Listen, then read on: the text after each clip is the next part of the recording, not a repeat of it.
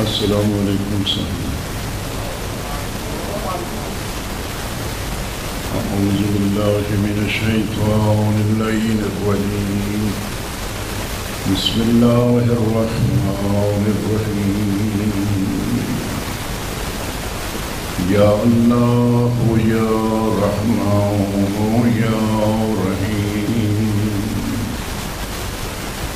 يا مقلب القلوب ثبت قلوبنا على أستغفر الله ربي من كل ذنب وأتوب لا حول ولا قوة إلا بالله العلي العظيم الحمد لله رب العالمين والعاقبة للمتقين والجنة للموحدين والنار للمعرضين الصلاة والسلام على أشرف الأنبياء والمرسلين وما أرسلناك إلا رحمة للعالمين. صلوات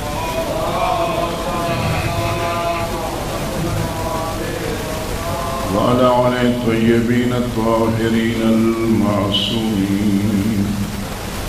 ولعنة الله على آبائهم والمؤمنين أجمعين من يوم عدوتهم إلى كاليوم يوم الدين. أما بعد فقد قال الله الحكيم. في كتابه الحكيم وهو أصدق الصادقين. بسم الله الرحمن الرحيم. فآمنوا بالله ورسوله والنور الذي أنزلنا والله خبير بما تعملون. سلام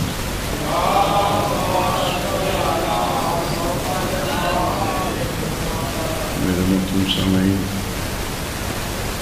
خالق کی کائنات، مالک کی کائنات رازق کی کائنات وحدہ اللہ شریک اللہ اپنے پاک کلام میں اٹھائیسواں پارہ سورت تعاون خانے کی کائنات حکم دے رہا ہے وامن باللہ ہے کہ پس تم سارے اللہ پہ ایمان لے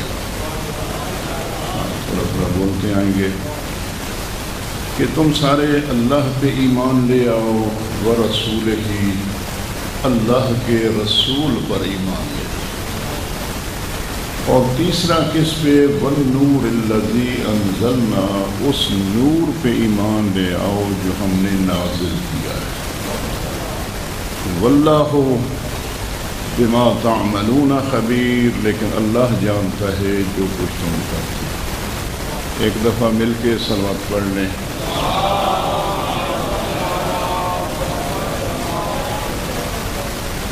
کیونکہ برسی کی مجلس سے خداوند کریم میرے عزیز، محمد سلطن کے والدین، ان کی مغفرت فرمائے۔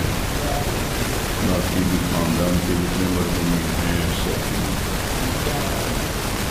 اور ہمیں یہ خدا توفیق دے، چونکہ زندہ قومیں اپنے گزشتگان کو یاد کریں۔ زندہ قومیں ہوتی ہیں نا وہ یاد کرتی ہیں۔ ہے نا، پریشان نہیں ہونا۔ ہاں، تھوڑا ساتھ ساتھ چلتے آگے۔ تھکاوٹ میری بھی ہے، دعوت مجھے بھی تھی، لیکن قبلہ کا اس وقت ان کا حکم تھا کہ جانا ضرور۔ میں نے کل عزیز سے معذرت مانگی تھی کہ میں علامہ صاحب قبلہ طبیعت زیادہ خراب ہو گئی، تو میں جا رہا ہوں اسلام یہ بھی پریشان ہو گئے۔ کل سیکنڈ ٹائم پہ انہیں شفٹ کیا۔ یعنی آئی سی یو میں تھے۔ تو وہاں سے پھر کمرے میں شفٹ کر دیا گیا۔ اور الحمدللہ اب طبیعت کافی بہتر ہے۔ تو صبح جب ہم سے بات ہوئی کہ آج کیا دن ہے پانچ مارچ تو الحمدللہ ان چیزوں کے باوجود حافظہ اتنا کام کرتا ہے۔ کہ میں تو نہیں جا سکتا، آپ بھی یہاں بیٹھے ہیں، تو وہاں نمائندگی کون کرے گا؟ اور بس، آپ کی دعائیں چاہیے واپس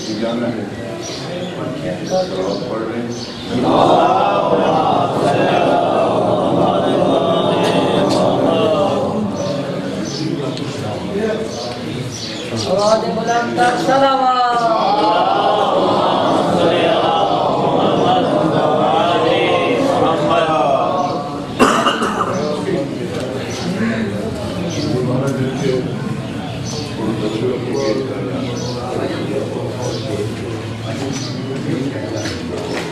خالی کی کائنات کا حکم غالب کا فرمان عامل اور جو عربی جان حضرات ہیں وہ تھوڑا سا ہم کریں گے جب لفظ فا آ جائے مقصد پس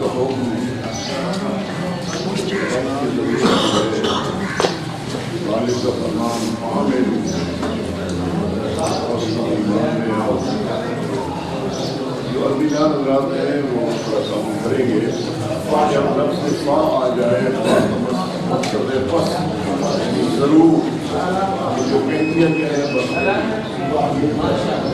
بس کر رہے ہیں کہ اگر کہا جائے نا بس یہی کام ہے جو میں کہہ رہا ہوں، بس یعنی ایک سختی والا آرڈر جو ہوتا ہے نا، حکم ہے کہ بس تم ایمان لے آؤ۔ کس پہ ایمان لے آئے؟ تین ہستیوں پہ۔ اللہ پہ ایمان لے آؤ۔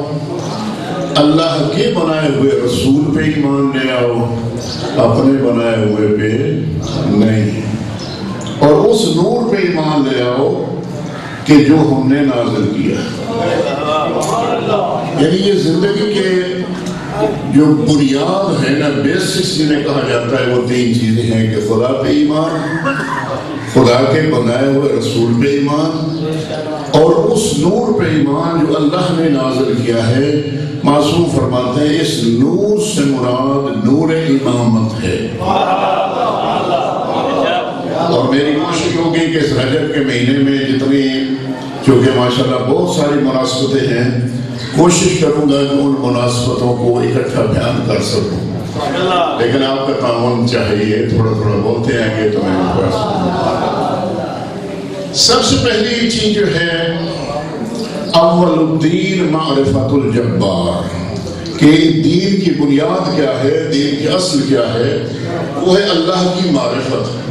تھوڑی سی تمہیں تاکہ سمجھیں وہ ہے خدا کی معرفت۔ یعنی جس نے اللہ کی معرفت حاصل کر لی، خدا کو پہچان لیا، خدا کی معرفت حاصل کر لی، اسے اس وقت پتہ چلے گا کہ اتنا عظیم اللہ جس نے اپنا عظیم رسول بنا کے بھیجا اور وہ میرا قریب اللہ، اس کا نمائندہ کس بلند مرتبہ کا حامل ہے کہ جسے خود کہہ رہا ہے یہ میرا ولی ہے؟ تو لہذا سب سے پہلے بس تھوڑا تھوڑا ٹائم ان تینوں چیزوں پہ کوشش کروں کا بیان کرنے کی کہ سب سے بنیادی چیز کیا ہے؟ تھوڑا تھوڑا بولتے ہیں کہ معرفت خدا، کہ جس سے اللہ کی معرفت حاصل ہو گئی، اسے اس وقت نبی کی اہمیت کا بھی احساس ہوگا۔ اسے اس وقت امام کی اہمیت کا بھی احساس ہوگا، پھر نہیں کہے گا کہ یہ نبی میرے جیسا یا علی میرے جیسا۔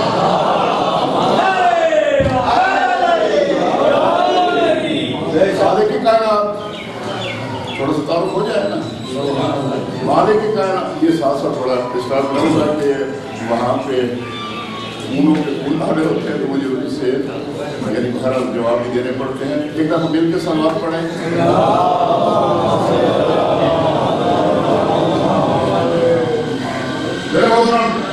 اللہ چونکہ نظریہ توحید جو ہے یہ بنیاد ہے اور اسی بنیادی نظریے کو کچھ جاہل لوگوں نے اتنا خراب کرنے کی کوشش کی ہے کہ چاہتے ہیں کہ اللہ کے اختیارات بھی چھین لیں۔ خدا کو محتاج کر دے اور نوز ملا کہ اس طریقے سے محمد والے محمد کی تعریف ہوگی نہ میرے دوست، اللہ کی توحید کرنا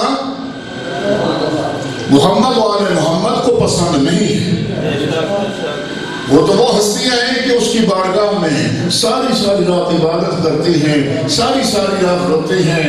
اس وقت مالک خود فرماتا ہے، او میرا پیغمبر، تیرے پاؤں سوج گئے ہیں، تجھے اس لیے تو نہیں بنایا کہ تو ساری رات عبادت کر۔ میرا نبی اپنی عبادت کو نصف کر دے یا اس سے تھوڑا زائد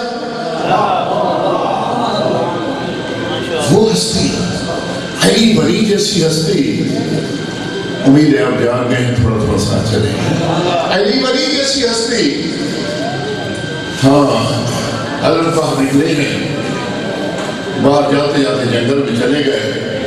حضرت کا ایک صحابی ہے، وہ بھی پیچھے پیچھے ساتھ ہے کہ دشمن زمانہ ہے۔ ایسا نہ ہو کہ میرے امام کو کوئی نقصان پہنچائے۔ تھوڑے فاصلے پہ رہا کہ دیکھتا ہوں کہ میرا امام کیا کرتے ہیں۔ علی چلتے چلتے جنگل میں گئے ایک پتھر پڑا ہوا ہے میرے امام نے سجدے میں سر رکھا سبوہن قدوسن سبوہن قدوسن کی صدا بلند کر رہے ہیں کہ کیا دیکھتا ہے اتنے تک علی کی آنکھوں سے آنسو گر گر کے پتھر گیلا ہو گیا ریش مبارک تر ہو گئی اور اس کے پتھر کے اوپر لیٹ گئے فوراً دوڑ کے آیا ہے کیا دیکھتا ہے علی کی نبزیں نہیں ہیں؟ جیسے لکڑی کی طرح جسم ہوتا ہے نا، لکڑی کی طرح جسم ہو گیا، دوڑ کے در زہروں پہ آ کے کہتا ہے، ابو بردہ نام ہے کہتے بی بی سلام ہو، سلام کے بعد کہنا چاہتا ہوں کہ علی آج اس دنیا سے چلے گئے۔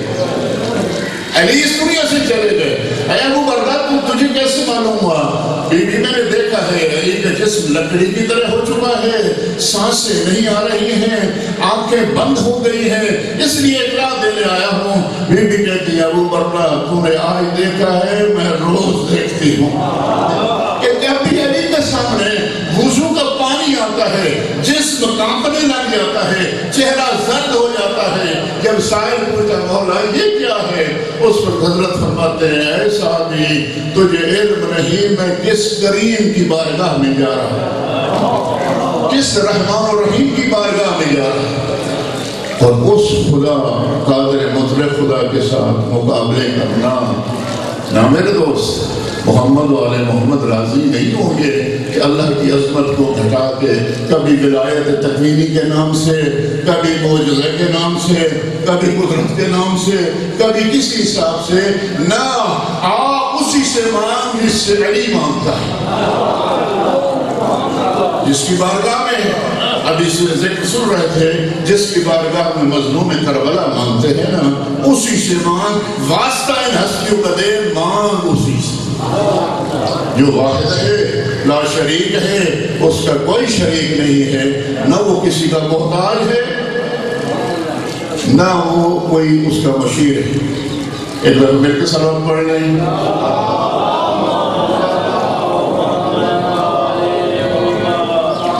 حضرت امام زین العابدین علیہ السلام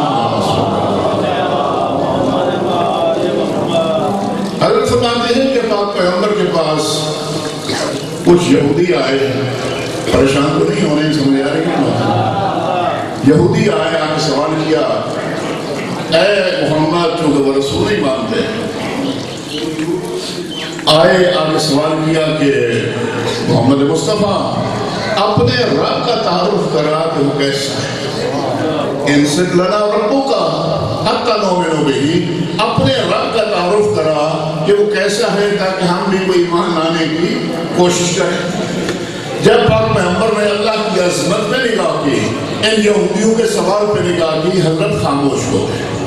جب تھوڑی دیر خاموش ہوتے ہیں، جبریل اسی وقت وہی لے کے نازل ہوتا ہے۔ آگے کہتا ہے، اے اللہ کا نبی، خالق کائنات بعد سلام فرماتا ہے ان یہودیوں سے کہے کہ جو پروگرام تم اپنے ذہنوں میں اللہ کے بارے بنا کے لے آئے ہو نا، میرا اللہ ایسا نہیں ہے، میرا اللہ کیا ہے؟ ان سے کہتے قل هو اللہ احد۔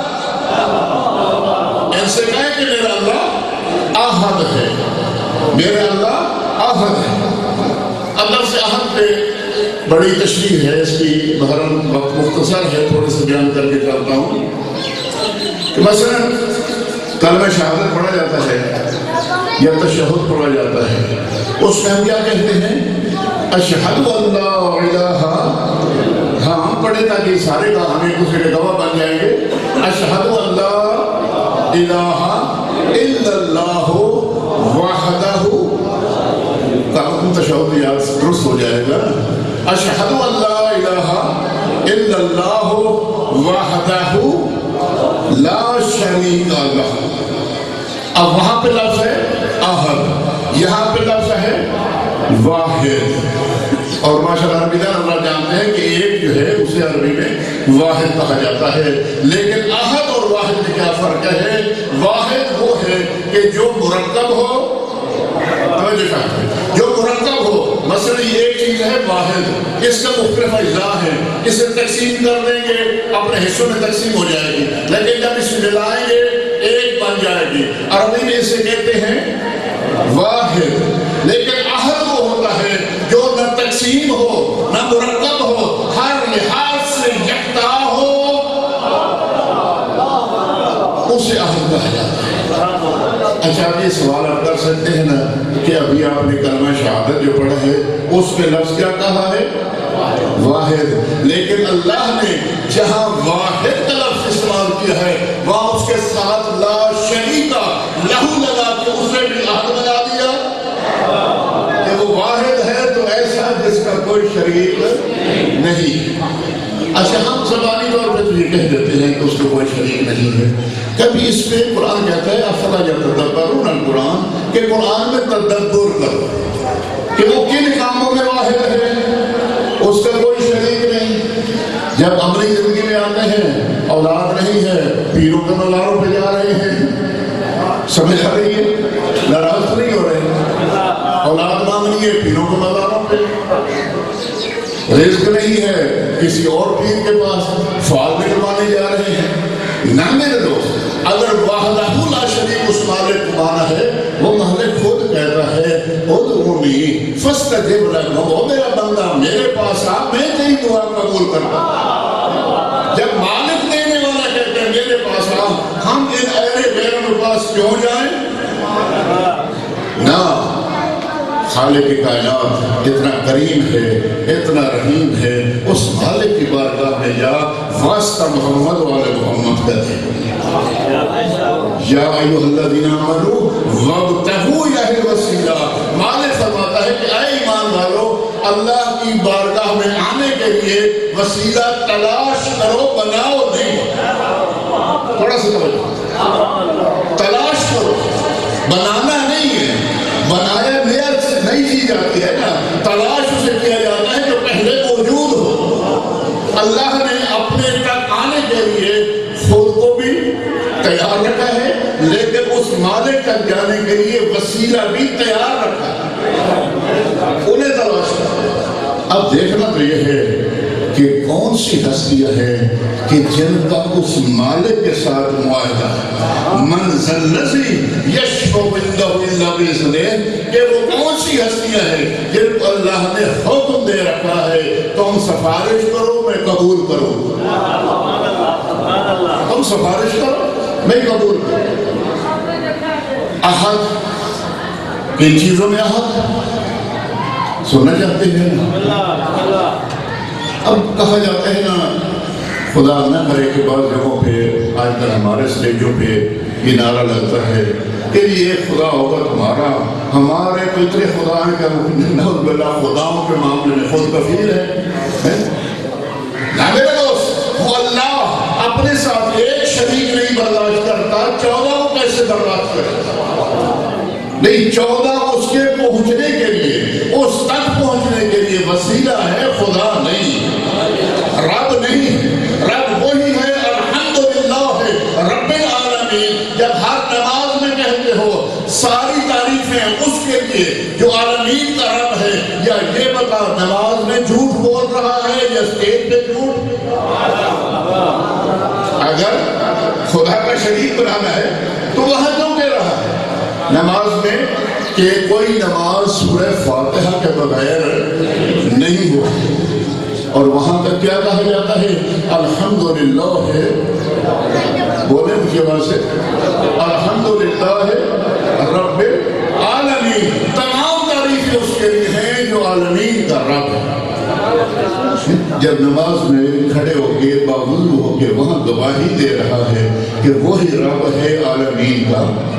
جس کی آگے صفات ہے، وہ رحمان بھی ہے، وہ رحیم بھی ہے، وہ قیامت کے دن کا مالک بھی ہے۔ تعریف اس کی کر رہا ہے، جب اسٹیج پہ ہے، کہتا نہیں، کوئی اور بھی رب ہے۔ اس دو رنگی کو چھوڑ دے۔ خدا، یہی میری اپیل ہے۔ علم علماء سے لیا جاتا ہے۔ علماء پہ لانتے نہیں کی جاتی۔ علماء کو برا بھلا نہیں کہا جاتا۔ یہ بدقسمتی ہے ہماری قوم کی۔ جی فلانا، میں نے بچپن میں یہ سنی تھی ایک علاقے میں بہرحال بزرگوار تھے اسٹیج پہ کھڑے اور غلامتیں کرا رہی ہیں۔ کیا ہے؟ اور یہ نجب سے کچھ علماء پڑھ کے آئے ہیں۔ یہی الفاظ۔ نجب سے کچھ لوگ پڑھ کے آئے ہیں اور وہ یہ آپ کے یہاں آگے نا وہ تقسیم کے قائل ہو رہے ہیں۔ علی علیہ السلام والسلام کی ولایت کے قائل نہیں ہے اور بدبخت انسان اتنا تو دے جو علی کے مدرسے سے پڑھ کے آئے، وہ ولایت کا دشمن؟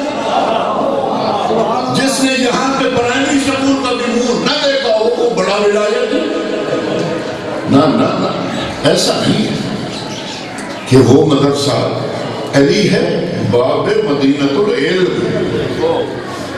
سمجھ آ رہی ہے؟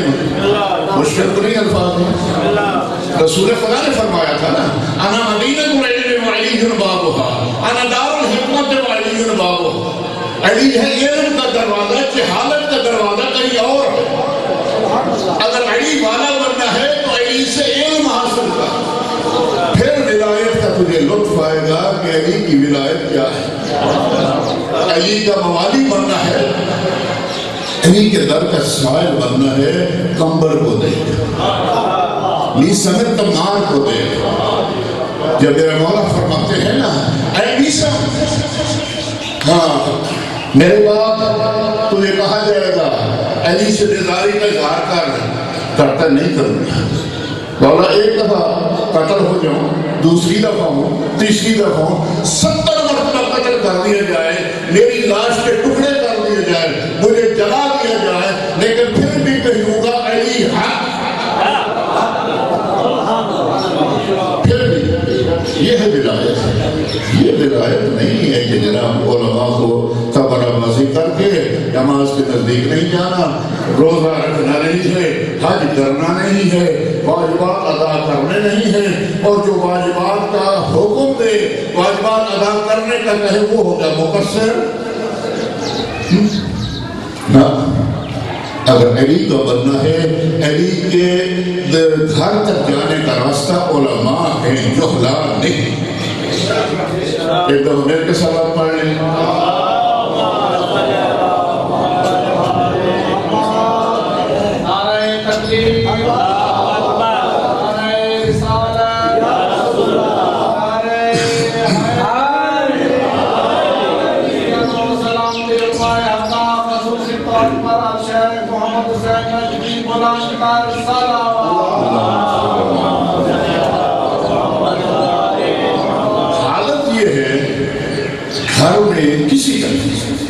کوئی آخر ہر گھر میں موت ہوت ہوتی ہے۔ کوئی موت ہو جائے، مولوی صاحب آنا جنازہ پڑھا دینا۔ ہے ہمیں پتہ نہیں ہے اسے غسل کیسے دینا ہے۔ پتہ نہیں ہے اس کا کفن کیسے دینا ہے۔ پتہ نہیں ہے قبر میں کیسے لٹانا ہے۔ پتہ نہیں ہے کس کے بعد کیا کرنا ہے۔ لیکن اسی مولوی پہ کفر کے فتوے پیش نماز کا مقام ہے۔ جو آپ کے محلے کا آپ کی مسجد کا پیش نماز ہے، خدا را جس کے پیچھے نماز پڑھتے ہو، جو تمہاری نماز کا امام ہو سکتا ہے، تمہارے سارے معاملات میں وہ امام ہے۔ پیش نماز جو ہے، اس کا خدا نے مقام دیا۔ بچہ پیدا ہو جائے، مولوی صاحب کو بلاؤ جی اس بچے کی کان میں اذان دینی ہے۔ کیا تو شیعہ نہیں ہے؟ خدا اگر محسوس کریں تو کرتا جائے مجھے اس سے کوئی فرق نہیں پڑتا، لیکن حقائق بیان کر رہا ہوں۔ میرے دوست، جو اگر شریعت کے فکر میں دیکھیں نا، ایک مسئلہ بڑا مشکل سے ہے، لیکن میں بیان کرنا چاہتا ہوں، اس لیے میں تھوڑا سا رک گیا تھا۔ اگر کوئی موت فوت ہو جائے، توجہ ہے نا سارے ہاں۔ ہر گھر میں بزرگ موجود ہے اس کی اولاد بھی موجود ہے۔ اگر بابا فوت ہو جائے، اس کا جتنے اس کے بیٹوں پہ لازم ہے وہ خود کرے۔ توجہ کرنا چاہتے اسے غسل بھی خود دیں، اسے کفن بھی خود پہنائیں، دفن بھی خود کریں، جنازہ بھی خود پڑھیں۔ آپ نے کبھی یہ دیکھا ملاحظہ کیا ہوگا کہ جب مولوی صاحب جنازہ پڑھانے لگتے ہیں، کیا کہتے ہیں؟ پیچھے مڑ کے، اس کا وارث کہاں ہے؟ کہتے ہیں وارث اجازت لی جاتی ہے۔ یہ اس وارث کے منہ پہ بھی تماچا ہے کہ جس سے اپنے باپ کا جنازہ بھی نہیں آتا۔ یہ اس کی اولاد پہ واجب ہے۔ مولوی صاحب جو پڑھا رہے ہیں، اس کی نیابت میں پڑھائیں گے۔ شرم کی بات نہیں ہے۔ اولاد جوان ہو گئی، سب کچھ باپے نے کمایا، سارا کچھ کیا۔ اگر بچی ہے، اس کی شادی کا موقع آ گیا ہے۔ دیکھا، میری مولوی صاحب کو بنا ہے اور خدا کے بندے، یہ تم خود مسلمان ہو، خود تم عید ماننے والے ہو، خود تشریعوں کا اعلان کرنے والے ہو، یہ معاملات آپ کے اپنے ہیں۔ آپ نے انہیں ادا کرنا ہے تو کم از کم اتنا تو کر کہ جس نے جنازہ پڑھانا ہے، جس نے نکاح پڑھانا ہے، جس نے اعمال بتانے ہیں، اس پہ کام کام ہونا تھا کیا جواب دے گا قیامت والے دن؟ میرا بارہ امام فرماتے ہیں کہ یہ علماء میرے وارث ہیں جب امام تشریف لے آئیں گے، پوچھیں کہ تم نے کیا خدمت کی ہے؟ تو کہیں گے کہ جناب، ہم نے جو آپ کے وارث تھے نا، ان پہ دن رات لانتے کرتے تھے کیا وہ امام جو اپنے نائبین پہ یہ لانتے برداشت کریں گے؟ خدا را اپنے ضمیروں کو جگہ ہے۔ جو یہ بکواس کرے، پکڑے اسے۔ اسے خود کھنگالیں گے کس کس پانی میں نہ میرے دوست، خدا را جو پیش نماز ہے، اس کے پاس قرآن بھی پڑھیں، اس کے پاس احکامات بھی سیکھیں اصول دین بھی یاد کریں فروات دین بھی یاد کریں، حقیقت میں یاد کریں اور انہیں اپنے آپ پہ لاگو کریں فقط زبانی رٹا نہ ہو۔ ہم کہتے ہیں اصول دین کتنے ہیں؟ ہاں بولے کوئی بات نہیں۔ پانچ ہے کون کون سے؟ اول، توحید، پھر؟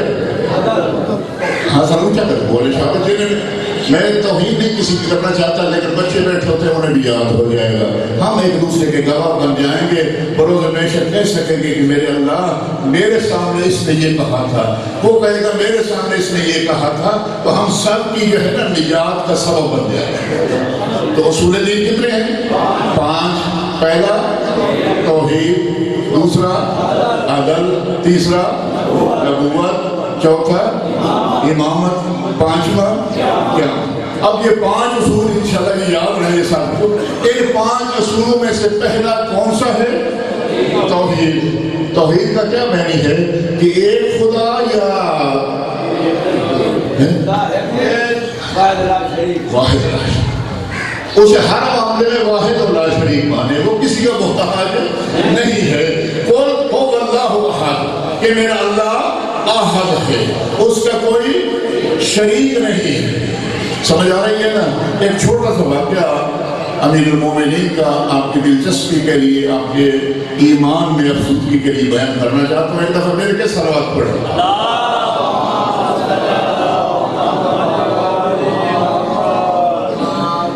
ایک عیسائی ہے، آتا ہے امیر المومنین کی خدمت میں۔ پریشان تو نہیں ہو رہے؟ کہتا ہے، یا علی، آپ جو کہتے ہیں ایک خدا ہے۔ اگر تین ہو جائیں تو کیا فرق ہے؟ چونکہ ان کے نزدیک تین خدا ہے نا۔ جناب عیسیٰ کو بھی خدا کہتے ہیں، خدا کو بھی خدا کہتے ہیں روح کو بھی خدا کہتے ہیں۔ یعنی تین ہو جائیں قریش کے نزدیک وہ تین سو ساٹھ بھی تھے، تین سو پینسٹھ بھی تھے۔ اگر یہ تین ہو جائیں تو اس میں کیا حد ہے؟ قربان علی تیرے سمجھانے کا۔ میرا نام فرماتا ہے کہ اے عیسائی، تھوڑی توجہ رکھیں گے تو لطف آئے گا۔ کہ اے عیسائی، تو جو کہتا ہے تین خدا ہے۔ یعنی عیسیٰ کو بھی خدا مانتا ہے۔ حضرت فرماتے ہیں کہ اے عیسائی، اگر عیسیٰ علیہ السلام تو السلام کے اندر دو کمیاں، خامیاں نہ ہوتی تو شاید میں بھی وہی نظریہ جو عیسیٰ کے بارے تیرا ہے، وہی رکھ لیتا توجہ جا وہی نظریہ رکھ لیتا جو تیرا نظریہ ہے اس حدیث سے طرح کہ کہتا ہے یا علی عیسیٰ علیہ السلام اور خامیہ فرمایا ہاں دو خامیاں تھی ان کے اندر یہ علم کلام کا شہکار ہے کہ خامیاں نبی معصوم ہوتا ہے نا دعائی دیتے ہیں نا سارے انبیاء معصوم ہیں کہ خاموش ہو گئے پریشان ہو گئے نبی معصوم ہوتے ہیں نا لیکن کہنے امیر المومنین ہے، علی ابن ابی طالب ہے کہ عیسائی عیسیٰ میں اگر دو خامیاں نہ ہوتی تو میں بھی وہی نظریہ رکھ دیتا جو تیرا نظریہ ہے۔ اس وقت عیسائی تڑک کے کہتے ہیں آقا عیسیٰ نے خامیاں فرمایا ہاں خامیاں تھی دو خامیاں کون کون سی؟ پہلی یہ کہ عیسیٰ نماز نہیں پڑھتے تھے۔ جب عیسیٰ نماز نہیں پڑھتے تھے۔ یہ تھی کہ عیسیٰ روزہ نہیں رکھتے تھے۔ عیسائی تڑپ کے کہتا ہے، یا علی عیسیٰ تو وہ نبی ہے کہ جس کی عبادت کی گواہی خدا دے رہا ہے۔ سارا سارا دن روزے سے ہوتے تھے، ساری ساری رات اللہ کی عبادت کرتے تھے۔ پھر امام نے ہاتھ پکڑ کے کہا، اے عیسائی، اب بتا، اگر عیسیٰ خود خدا تھا، یہ روزہ کس کے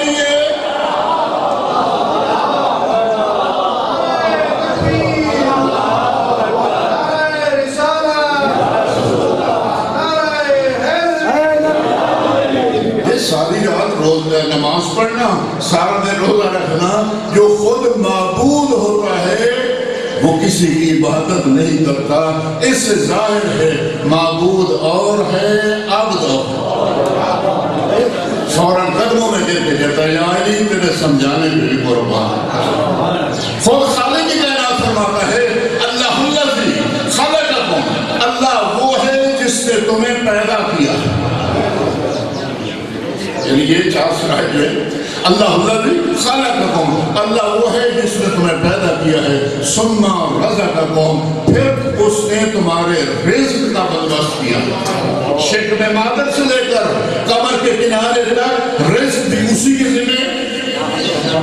سما یوبی تو قوم پھر تمہیں موت دے گا۔ بہت سب حافظہ بیٹھے ہیں کہ یہاں پہلے ماضی کے سیگے ہیں، آگے مظاہر کے سیگے ہیں کہ اس نے تمہیں خلق کیا ہے۔ تمہارا رزق کا بھی بندوبست اس نے کیا ہے۔ سما یوبی تو قوم پھر تمہیں موت دے گا۔ سما یوبی کو پھر تمہیں دوبارہ زندہ کرے گا۔ آگے چیلنج کر کے کہتا ہے، حل من شرکائکم من یفعل من ذالکم من شیء کوئی ایسا ہے جنہیں تم خدا کا شریک بناتے ہو جو یہ کام کر دکھائے خالق کائنات چیلنج کر کے کہہ رہا ہے خدا را اتنا سوچ، تیری توحید خالص ہے۔ کہاں سے لی ہے؟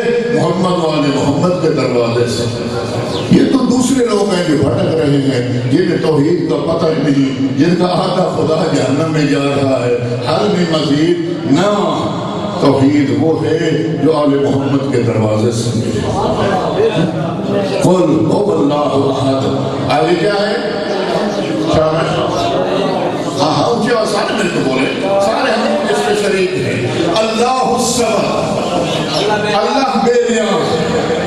بے نیاز کا کیا مقصد ہے؟ کہ انتم الفقراء اللہ، واللہ هو العلی الحمید۔ تم سارے کے سارے اللہ کے محتاج اللہ نہ کوئی نبی اس سے استثناء ہے، نہ امام کا استثناء ہے، سب کے سب محتاج ہے اسی اللہ کے جو قادر مطلق ہے، جو اللہ کل شہن قدیر ہے۔ وہی مالک ہے، وہی خالق ہے، وہی رازق ہے، رزق دینے والا بھی وہی ہے، خلق کرنے والا بھی وہی ہے۔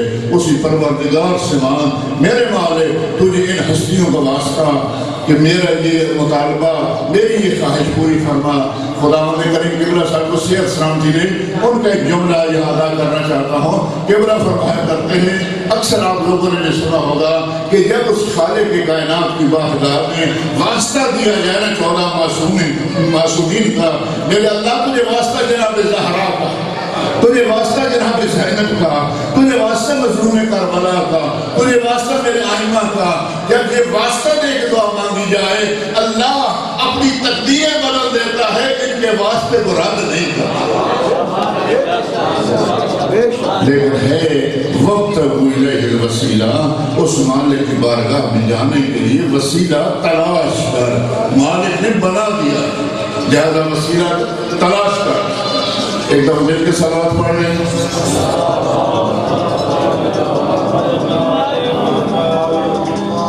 فامن باللہ ہے، اللہ پہ ایمان دے۔ لہذا خدا پہ ایمان، کوئی اس کے شریک نہیں ہے۔ وہ وحدہ لا شریک ہے۔ اسی مالک سے اولاد مانگنی ہے، اسی سے مانگ دعا مانگنی ہے، اسی سے مانگ رزق مانگنا ہے، اسی سے مانگ جو حاجت مانگنی ہے، اسی سے مانگ ان ہستیوں کا وسیلہ ہے۔ امام حسن عسکری علیہ السلام فرماتے ہیں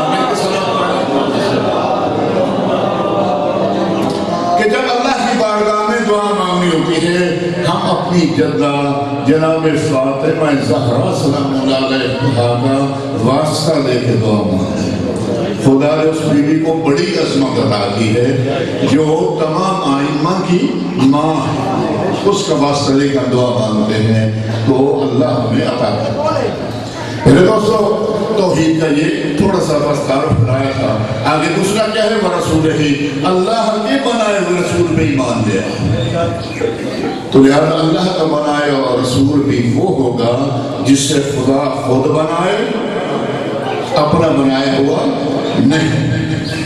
اور جی اور ایسا بھی نہ ہو کہ جسے چالیس سال تک نہ ہو، میرا پتہ ہی نہ ہو کہ میں ہوں کیا۔ اتنا وقت نہیں ایسی تشریح نہیں کر سکتا کہ جسے علم ہی نہ ہو کہ وہ اپنے لیے قوم کے دین پہ تھے یعنی قوم کے دین سے مراد کفر ہے کہ جن کا نبی چالیس سال تک کافر رہا ہو اس لیے تو یہ لوگ کہتے ہیں نا کہ اگر نعوذ باللہ مجھے الفاظ دو رات اچھا نہیں لگتا کہ جو جو شخص چالیس سال تک نعوذ باللہ جاہر رہا ہے اسے پتہ نہیں تھا وہ نبی بن سکتا ہے تو میٹرک فیل جو ہے قادیانی وہ نبی کیوں نہیں بن سکتا قرآن نبی بنا دیا؟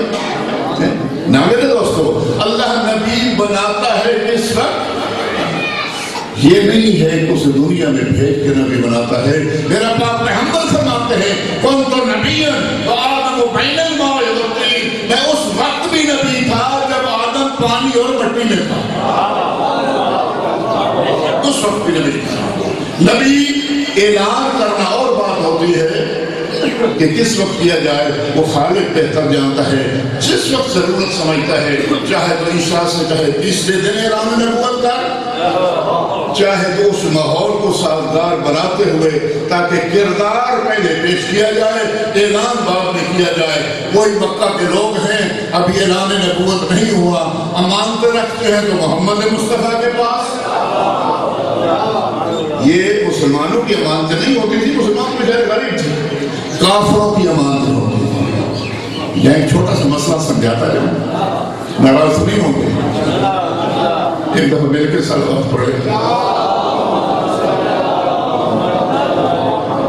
ہمارے ایک بات چلتی ہے نا کہ فلاں سرکاری ملازم ہے خاص طور پر سرکاری ملازمین میں، یا کوئی سرکاری پراپرٹی پڑی ہے، تو لوگ کیا کرتے ہیں؟ وہ جی یہ گورنمنٹ کی زمین ہے، اس پہ قبضہ کر لیں گورنمنٹ کو مال اس پہ قبضہ کر لیں۔ سمجھ آ رہی بات؟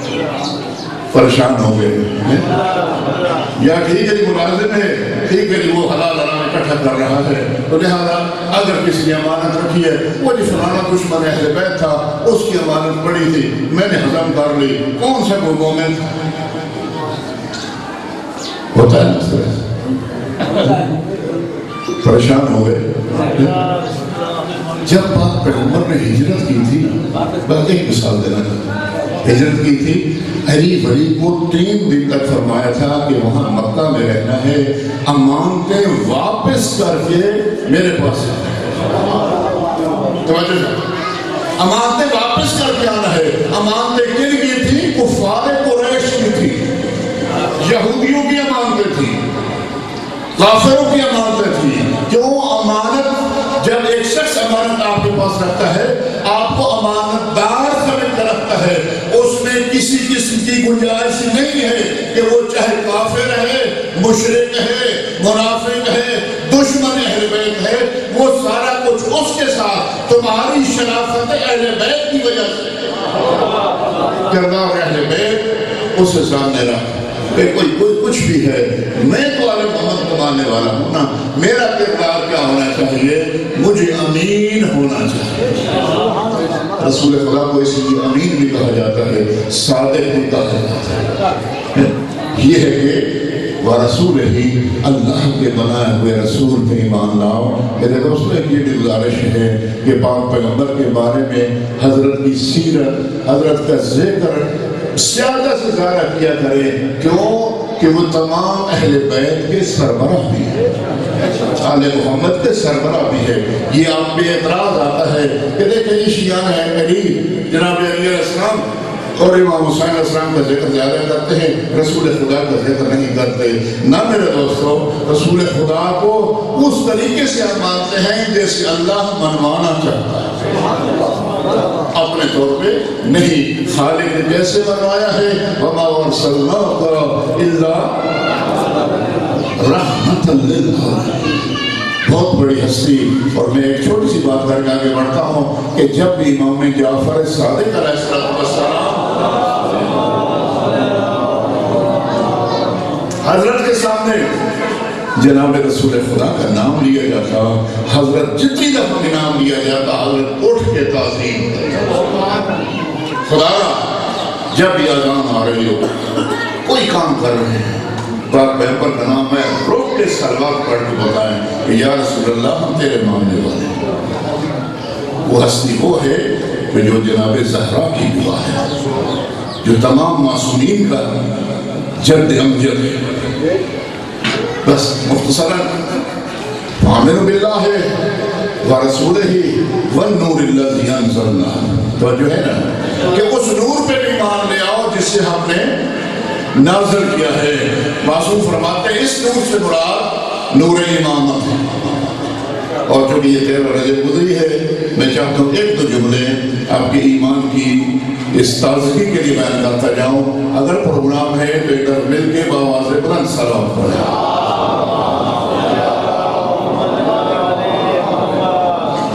کہ جو خالق کے کائنات نے نور امامت نازل کیا ہے، یہی تیرہ رجب گزری ہے۔ اور یہاں پہ لازمی بات ہے، جشن منایا گیا ہوگا۔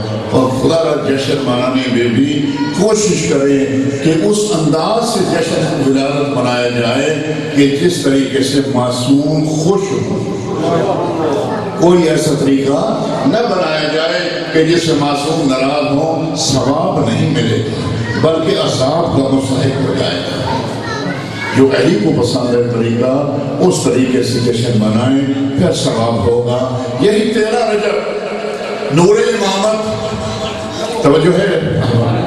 نور امامت کا یا خانہ کعبہ میں اس انداز سے کہ جناب مختصر کر رہا ہوں۔ جناب فاطمہ بنت اثر چلتی ہیں اپنے گھر سے۔ جب ولادت کا وقت قریب آتا ہے بی بی اپنے گھر سے چلی ہے۔ کہاں جا رہی ہے؟ قبلہ کی طرف۔ خانہ کعبہ کی طرف جا رہی ہے۔ آپ سے یہ سوال میرا ہے کہ جب دیہات میں عورتیں جاتی ہیں، باہر ہیں کہیے، اگر اس قسم کا وقت آ جائے، تو کیا کرتی ہیں؟ اپنے گھر کی طرف آتی ہیں یا باہر جاتی ہیں؟ اپنے گھر کی طرف آتی ہیں کیونکہ ان کے گھر میں ان کے معاونین موجود ہوتے ہیں، مددگار موجود ہوتے ہیں، لیکن بی بی اپنے گھر سے ہاں، سونا نہیں ہے میں ختم کر دیتا ہوں اب اپنے گھر کو چھوڑ کے کہاں جا رہی ہے اللہ کے گھر میں جہاں کوئی عورتیں موجود نہیں ہیں، کوئی مددگار موجود نہیں ہے، لیکن لگتا ہے کہ اس بیوی کا اس اللہ کے ساتھ کوئی ایسا کنیکشن ہے کہ خدا نے اس پروگرام کے تحت خود بلایا ہے۔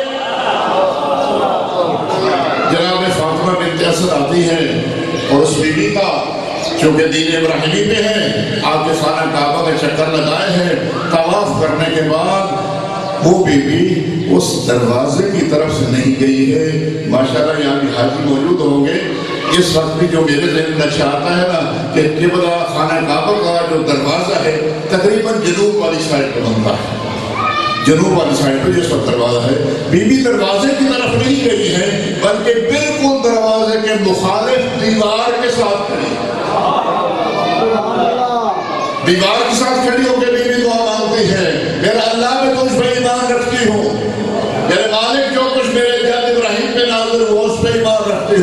اگلے جملے سننا بی بی دعا مانگ کے کہتی ہے، میرے مالک، جس مشکل میں میں مبتلا ہوں، تجھے واسطہ اس میرے بچے کا، جو میرے شکم ہے، اس کا واسطہ میری مشکل آسان فرما۔ اور بیوی بتا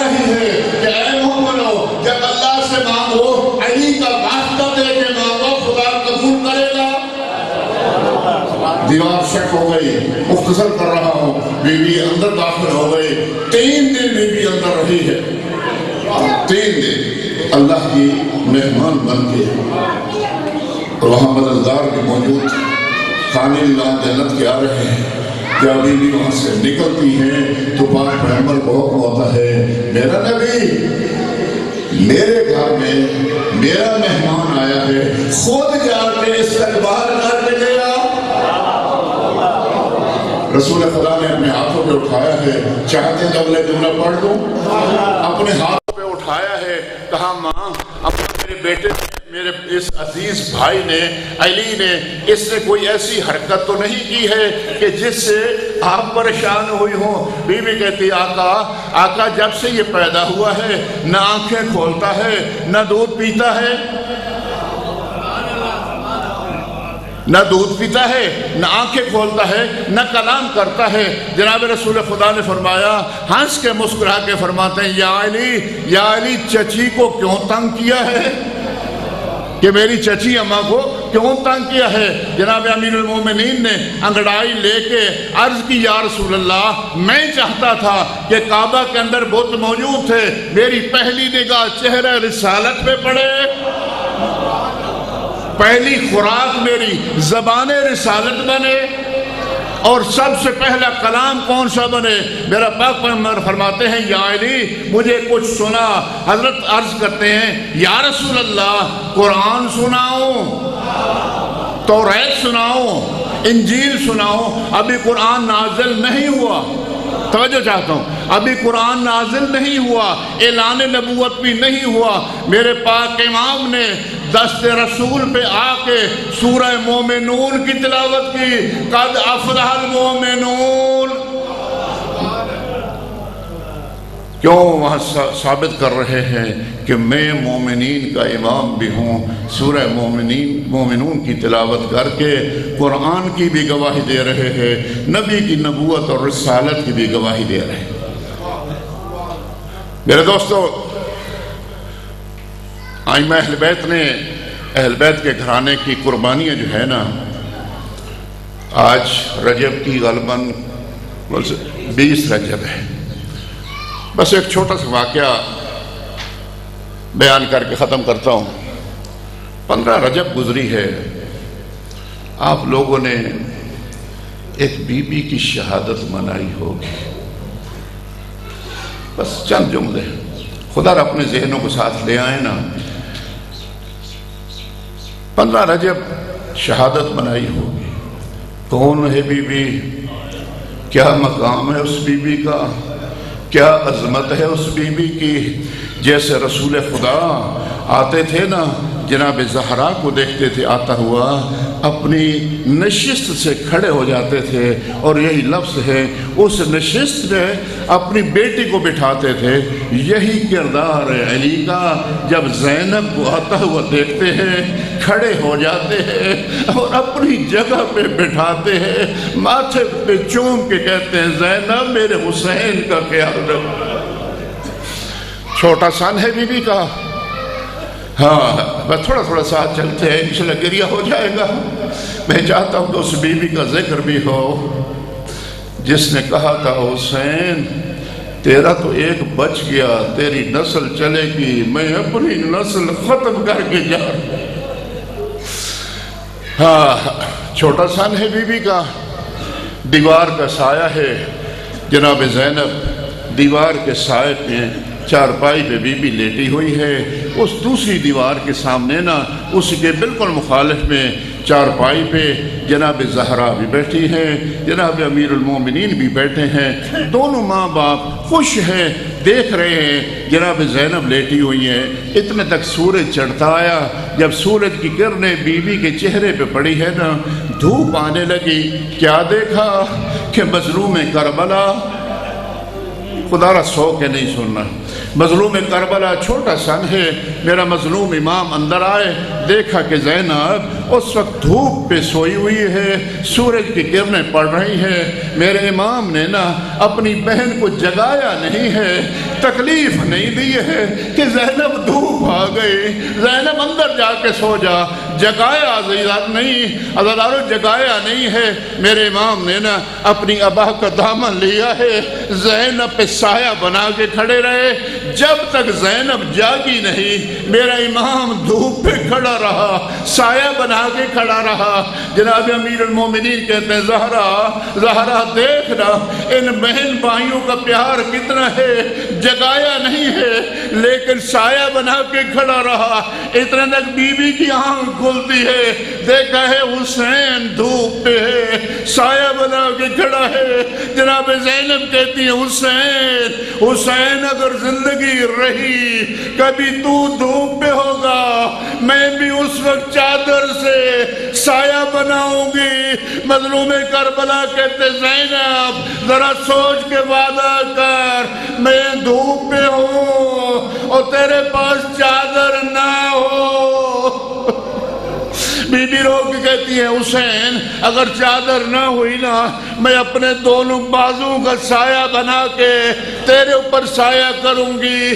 کہا، زینب، سوچ کے وعدہ کر، ہو سکتا تیرے ہاتھ آزاد نہ ہو۔